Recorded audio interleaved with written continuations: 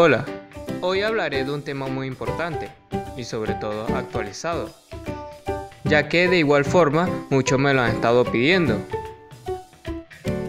Bueno ya, hablando en serio, si es que esto se lo puede tomar en serio, es que hoy hablaré del Pacma y es que he visto que muchos lo catalogan como un cáncer o una clase de epidemia, pero la verdad es que se malinterpreta por su mal uso en algunos casos y es que realmente se ve estúpido y sin sentido cuando la persona que lo usa está hablando en serio o solo lo utiliza como si fuera una clase de adorno.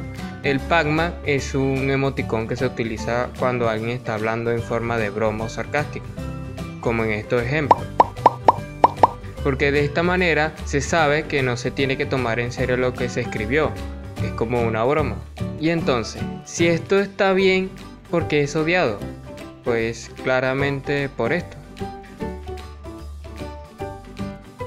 Esto ocasiona que personas lo cataloguen como un cáncer o una epidemia que debe ser eliminada, cuando en realidad solo es un emoticon más.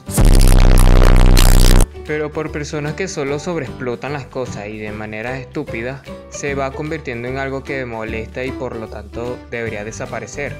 Pero en el caso del Pacma, no lo hace, ya que como les dije, sí tiene su utilidad y no es un simple meme o pendejada que está por estar, como parece.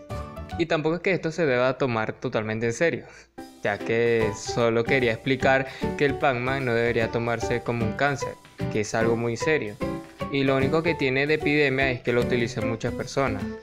Pero ya te dije por qué es. Solo debemos no exagerar el Pac-Man al igual que otras cosas y memes.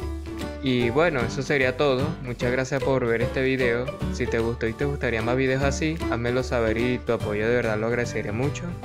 Y nos vemos.